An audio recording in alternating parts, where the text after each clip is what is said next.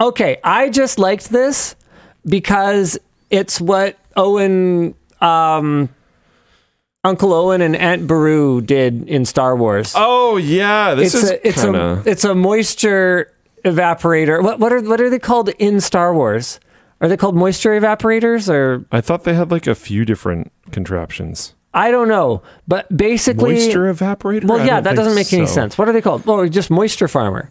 No, no, I think the thing's called something. He's he's he's not talking about the the moisture profession. evaporators. Yeah, moisture evaporator. Wait, that doesn't make sense either. Moisture Okay, well- vaporators Yeah, that doesn't make sense because that would turn it to vapor. seems weird. Moisture evaporators is right. It says pancreas. I trust pancreas. Moisture evaporators. Um, I, I mean, it's Star Wars technology. It doesn't matter. The point is now there's Star Wars technology, and that was all I really had to say about that. Yeah. Um, I just saw this thing and I was like, oh my God, it's Star Wars. Uh, MIT is testing a new technology to pull water from the air. The idea is not new, but the hydrogel technology they're using is.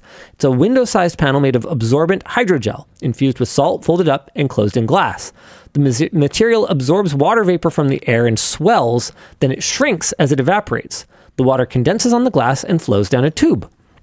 Currently, it makes about two thirds of a cup of water a day, but requires zero power. The hope is that these could be scaled up and improved to provide drinking water for a single household. Could be great for emergency situations.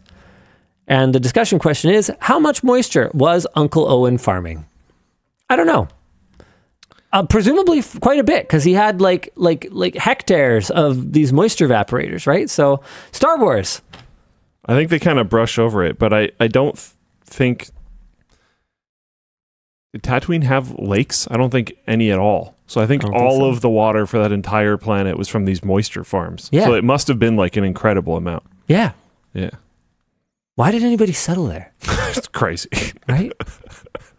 uh, Mexico is taxing video games. I mean, you can say that about places in the world now in real life. Well, yeah, but in the world now in real life, they were like always there.